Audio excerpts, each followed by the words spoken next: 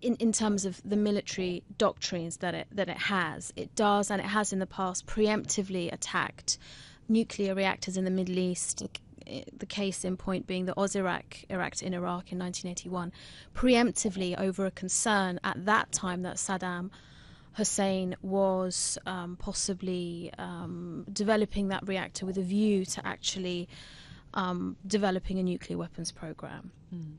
And I think that's one background concern that the Americans may have. But the more immediate concern is if you do attack um, nuclear facilities in Iran, of which there are several, including research centres, including centres where they are uh, enriching uranium that are actually being inspected by the IAEA on a regular basis. So those in- inspections are ongoing. Um, those UN inspections have been ongoing and have never stopped. But also a nuclear power reactor in the south that's been operational since I think around the late 1970s.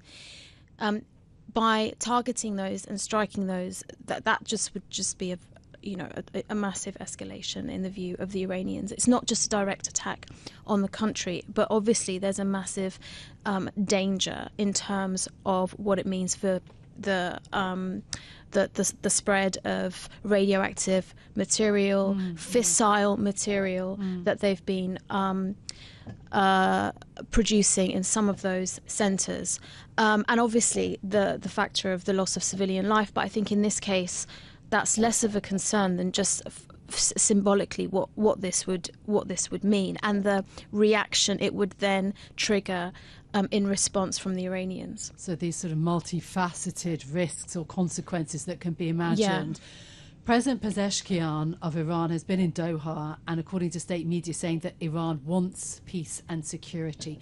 How much credibility does that hold? How much scope might there be for peace talks, maybe even involving uh, you know, Qatar as an intermediary? Well, I think I think um, that's a very good question, and I think this um, trip to Doha is very interesting. It was scheduled in advance, so he was meant to be going from a, a while back because there's um, an Asian uh, conference for dialogue. Some, there's a there's a regional conference going there going on there right now, so he was meant to be going, um, but it's a, it's it's not a huge deal that conference. So he could have very easily, maybe under other circumstances, not turned up um, because it's a foreign ministerial conference as well. But by going um, yesterday, it also suggests that he's he's very likely to want to talk about um, security in the region and the um, escalations with Israel and this concern about there being obviously a full scale war in the region. And we know that Doha has played a pivotal role um, over the past uh, best part of a decade now in mediating dialogue, not just between Iran and the US, but more recently between Hamas and Israel over Israel's bombardment in Gaza and trying to secure a ceasefire there. So I think it, I would be very surprised if Pezeshkian did not arrive in Doha with some thoughts and ideas over how they can de escalate in the region. It really depends now on whether the Israelis are um, amenable to anything like that, or whether they've made a very. It sounds like they have made a very um, decisive choice to um, retaliate. Um, it's just we have to look at what the parameters of, the re- of that retaliation are, are likely to look like. And I suppose what sort of effect could that have in Iran if we're thinking about public opinion, public support, both for, for those who are in power, but also these other groups like Hezbollah and Hamas that are supported by Iran? I think that's a very good question. I think one of the challenges and the dilemmas that that is facing the Islamic Republic and specifically the supreme leader Ali Khamenei is the fact that they are they are not a popular system at the moment. Um, they have faced incredibly high levels of dissent and um, internal opposition and unpopularity, and we've seen that from the election figures. They've had over the past three three popular elections in the country have all hit record lows in terms of participation. Not to mention the uprising we had in 2022, which was some of the most violent and uh, kind of uh, deadly um, oppositional violence since the 1979 revolution. So you can't wage a war or escalate a conflict when you are not when you when you can't appeal to your own popularity internally at at home. Um, on the other front, um, in terms of in the region, there has been. We we had a story yesterday on the file with my um, myself and my colleague Sam Dagher in Dubai um, about the perception on the Arab street, specifically in countries like uh, Lebanon, of how Iran has so far responded to Israel, and there was a it was a bit of a mixed bag. There was a lot of celebration in some parts of Beirut um, over Iran's uh, strike. Um, the other day, but at the same time, I think there's a sense of, is that it? Is that all you have to?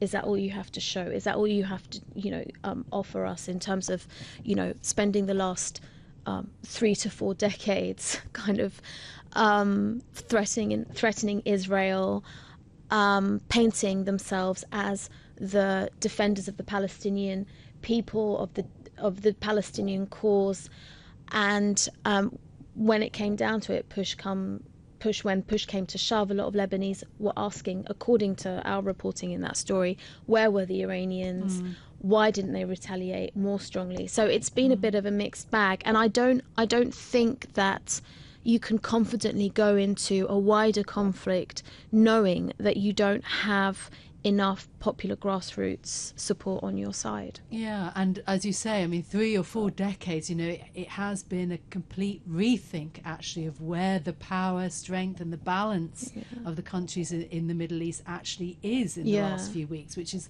I think, quite a lot for specialists like you maybe to be absorbing. What are you thinking about next in terms of the impact? You know, is it this? We're watching out now for what Israel does in response, what is happening on the ground in Lebanon. What else are you thinking about in this dangerous theatre? Yeah, well, it's. I mean, I think about these questions about the, the the general, to put it in a very basic, simple term, order of things in the Middle East, but more broadly in the world. And for someone, because I've covered Iran for so long, and I think if you're a, if you're a journalist with a beat, you, you do tend to suffer from a sort of myopia. You tend to look at things through the lens of that con- of that country. But I do think Iran has had this role for the past 50 years now, almost, of being this this kind of quite formidable um, bulwark against U.S. Western, loosely put, kind of NATO aligned interests in the Middle East, and of course Israeli interests. And I think now we're kind of seeing this. It's almost like this battle that Khamenei has been waging on a cold front in a shadow war, and the Israelis have as well. Mm. It's now manifesting in in in the in these really violent violent terms, and it's it's very worrying. It's it's deep it's deeply worrying, but it's also you know you, you kind of you you kind of if you take the long view i think in some ways we have very slowly walked into this situation if we go back to um, maybe the 2015 nuclear deal how it was negotiated who was negotiating it who was excluded who was included um, the way that nuclear um, the way that rhetoric on the western side and um, action and sanctions on the Western and the European side uh, was handled over Iran's nuclear program going back to 2003. Even if you go back to things like George W. Bush's Axis of Evil speech back in mm. 2002, which happened at exactly the time when Iran was um, starting a very tentative back channel dip, uh, effort with the Americans to try and coordinate in a coordinated way defeat the Taliban together in Afghanistan. These kind of opportunities that were dashed, and you kind of look, if you take the broad view and you come all the way up to 2019 and Donald Trump and the maximum pressure strat- strategy, assassinating Qasem Soleimani, all this kind of stuff, it all kind of leads to, to this mm. war scenario that we're that we're now faced with. In We've some been ways. asking the question all morning: is is is Israel listening to anything the United States has to say? Who could Iran listen to if there were to try and be diplomatic overtures to try and de-escalate this? Is it the people that you're talking about who are unhappy with the the regime in Iran? Are there international partners like Russia or China that could exert pressure on Iran now? I think with the first point about Israel, we have to look at, at just the past year. Clearly, Israel Israel has not has not really paid much heed to what the United States has said at all. And in fact, another thing that Pezeshkian said yesterday in Doha that was quite interesting, he made a statement where he said, uh, "We want peace and." Uh, security. The America, we, we got a phone call from the Americans and the Europeans telling us after the Haniyeh, uh, the assassination of the Hamas political leader Ismail Haniyeh in Tehran, telling us don't escalate, don't respond, and we will get a peace. Uh, we'll get peace in Gaza within a week. So the the suggestion is that there was a a quid pro quo there, mm. a ceasefire in exchange for you not escalating. He said that never materialized. So that's another sign that um, Benjamin Netanyahu is going on his own course, and he's put his earmuffs on, and he doesn't really, you know, he, he's determined to do whatever it is he needs to do. I think there is obviously also a strong suggestion that he wants to stay. There's a domestic angle to this where he wants to stay in power for, for as long as he can and maintain his government coalition with the more far right mm. parties um, in Israel. On the point about Iran and um, who can talk to Iran, I think again, the Doha trip yesterday and Pezeshkian's statements show that Iran, I think, quite reluctantly um, conducted that missile strike uh, the other night. Um, and I think it felt it really had no choice because of th- this perception of its loss of credibility, the perception of weakness was something that I don't think, given the amount of domestic unpopularity it's also facing, it, I don't think it could have. It, from its own point of view, it could have it, it could have completely sat down and sat on its on its mm. hands. Mm. Now, in terms of Iran um, not escalating any further, I don't think it will do anything for now. I mean, there's a there's a chance that, and there is there is some suggestion we had um, a mysterious explosion near the Israeli embassy in Copenhagen around the same time of the strikes. And there is a suggestion that they might take some of this um, retaliation operation offshore to um, other parts of the world where they will try to hit diplomatic, diplomatic Israeli assets. Um, but that's again something that's that has precedent that they've done in the past. Mm.